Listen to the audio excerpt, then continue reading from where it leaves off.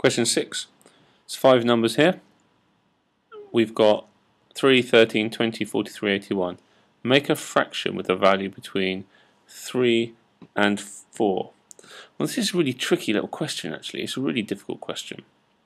Basically, we need to make a top-heavy fraction that when we do a division, the number on top is not 3 times, is bigger than 3 times than the bottom, but smaller than 4 times.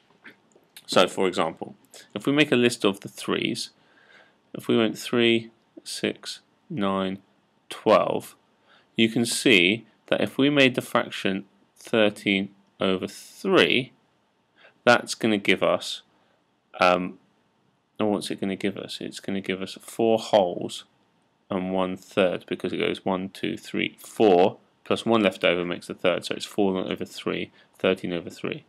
So we need to find a number that's bigger than 4. We need to find it between 3 and 4. Same thing, we obviously can't do 20 over 13, that's out because that's somewhere between 1 and 2. So, well, and 3 and 20 is too big, so let's try 13 and 43. 13, 26, 39, and then it goes up to 52, doesn't it? So we've got 1, 2, 3, and our 43 is somewhere in between here, isn't it?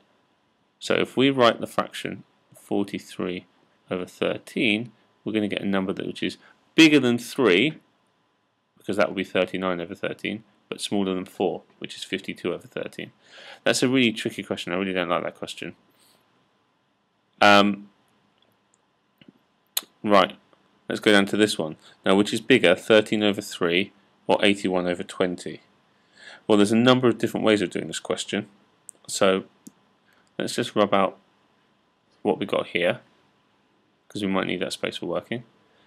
One way of doing it is converting the bottom numbers to the same. So if we do 13 over 30, uh, 13 over 3 and 81 over 20, if we convert the bottom numbers to the same, that would have to be 3 and 20. The only smallest number they both go into is 60. So we have to find out how many times 3 goes into 60, which is 20 and we have to do 20 times 13. 10 times 13 is 130, so 20 times is 260. This goes in 3 times, so 20 goes in 3 times, so the 81 has to be times by 3, which is 243. So which number is uh, bigger? Well, 13 over 3 is bigger. You can see it's bigger because now the bottoms are the same. You can see that 260 out of 60 is more than 243 out of 60. Okay, so that was method one. We could look at doing a different method. We could have converted, let's do this in pink and I'll do it over here. We could have converted 13 over 3, we could have converted it into a whole number and a, mi or a mixed number.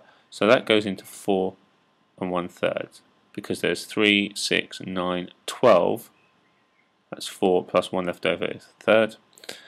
81 over 20 goes in 20, 20 40, 60, 80. That's 4 wholes and 1 20th left over. So you can see the 4s are the same, so you've just got to compare the third and the 20th. And so 13 over 3 um, is biggest. And the reason is because one third is bigger than one twentieth. If you think about that, you're dividing something by 3, everyone's going to get a bigger chunk than if you divided something by 20, everyone's going to get a little chunk. So I didn't like this question at all, 5 marks. Question 6 I really didn't like. The first bit was quite tricky, and the second bit was, was just as tricky. Okay, So you might want to go back over the videos and check you this video and check you understand it.